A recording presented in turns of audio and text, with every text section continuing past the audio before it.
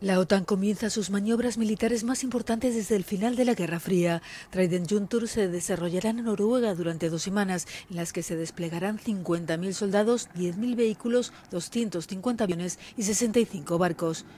Los participantes pertenecientes a los 29 miembros de la Alianza, Suecia y Finlandia, se dividirán en fuerzas del norte y del sur y se turnarán como tropas agresoras y de la OTAN que tendrán que recuperar la soberanía de un aliado después de un ataque armado.